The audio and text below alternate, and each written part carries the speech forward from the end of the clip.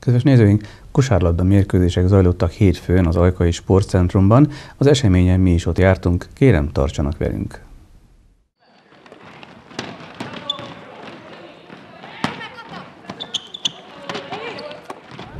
Ismét Ajka adott otthont a B33 kosárlabda diák olimpiának. Honnan érkeztek a nevezők? Igen, így már harmadik alkalommal mi rendezzük a megyei, illetve területi döntőt.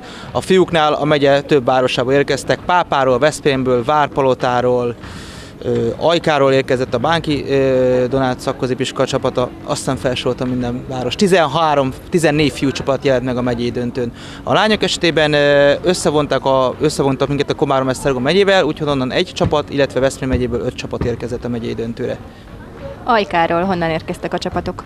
Ajkáról a fiúknál, ahogy említettem, a Bánki Donát szakközépiskola csapata, illetve a lányoknál pedig a Bródi Gimnázium két csapatot indított. Ők hogyan szerepeltek? A Bánki csapata megszerezte a 14. helyet, a lányok esetében a, az erősebbik lánycsapat a második, a másik lánycsapaton pedig a negyedik helyen végzett. Mennyire elégedett a mérkőzésekkel? Összességében így most már a torna végez elégedett vagyok a lányokkal. A minimális célt teljesítették, hiszen mind a két csapat a legjobb négybe került, ezzel kivívta a területi döntőn való indulás sogát. Egy picivel nagyobb szerencsével talán a ö, lánycsapatom akár meg is nyerhette volna, hiszen egyetlen egy pont a maradt a Veszprémi Padányi Gimnázium csapatával szemben.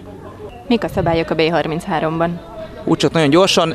Félpályán játszák, 3 a 3 elni kosárlabda, a játékidő 10, pont, 10 perc, vagy maximum 21 pont, nagyon pörgős 12 másodperces támadidő, a rendes kosár 1, a 3 pontos vonalon kívül szedett kosár pedig 2 pontot ér. A célja, hogy még látványosabbá tegyék a játékot, állítólag a Rio olimpián már bemutató sportáként fog szerepelni a B33-as kosárlabda. Ez a megyei döntő volt. Hol rendezik meg az országos bajnokságot, illetve mikor lesz, milyen esélyekkel indulnak a gyerekek?